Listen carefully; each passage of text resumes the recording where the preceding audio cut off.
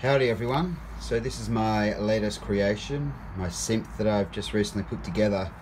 It's a cigar box synth, or that's what I'm calling it, and it's um, a four-step sequencer. So one, two, three, four.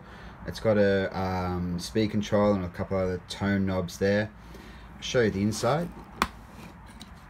So there's all my uh, handiwork. It's a fair bit of wiring. Um, it's based around three different ICs uh, 555, 556 and 4017. Uh, yeah, so it took me a little while to put together, but I'm pretty happy with the way it turned out. So I'll give you a, a demo. Um, I won't play for too long, although I kind of get stuck in the moment when I start playing this thing. So if I do, just fast forward it.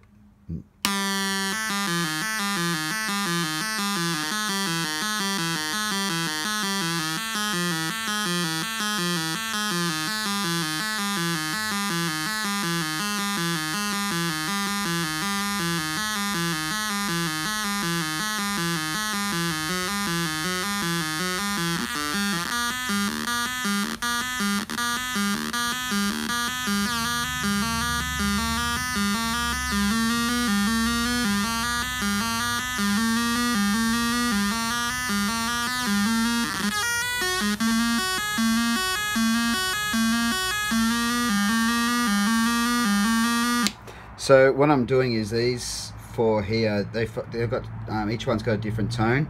So if I put this one around here and this one around here and these two straight up, you can hear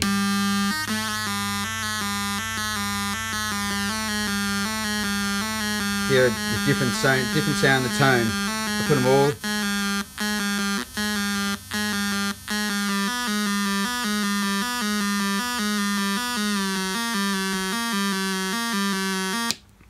Um, so you can also just turn one off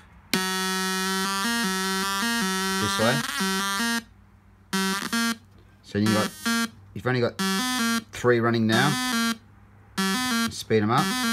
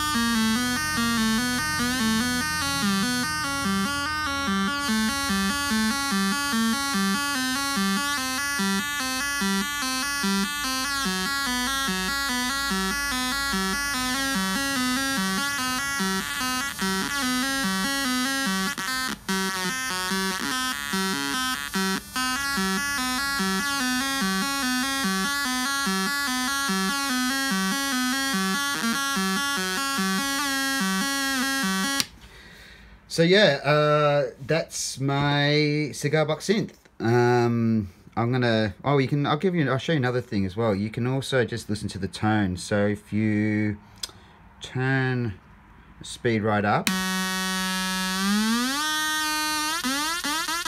can hear the different tones. Thank you.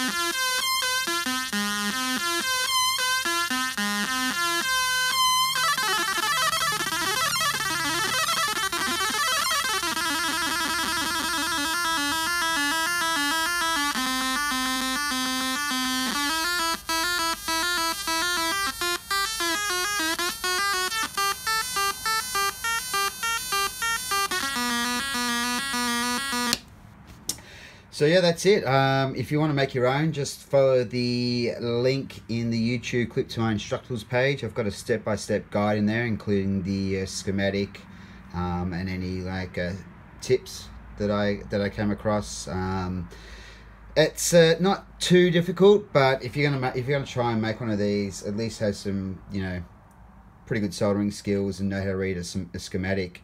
So yeah, thanks for watching.